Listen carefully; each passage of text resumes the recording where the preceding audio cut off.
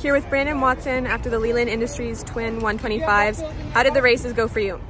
Uh, it's definitely an up and down day again. Um, we started off in qualifying, or sorry, at practice. We had a good car in practice. Uh, unfortunately, we missed it a little bit. Uh, make some mistakes in qualifying. We weren't able to get uh, up the top, but we, we started uh, eighth on the first feature, working our way up. Uh, actually, fell back on the restart, uh, the first original start, so we lost some space there.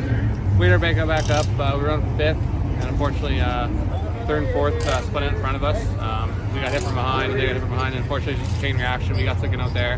had a lot of damage, but this White Motorsports team uh, GMS, uh, RGC Sports Car was, uh, they made a, a, lot of work to get this car back on the track. we had a last minute rad change too, so um, unfortunately we had to start at the back. we just had too much to fix in the little time that we had, so we had to start in the back.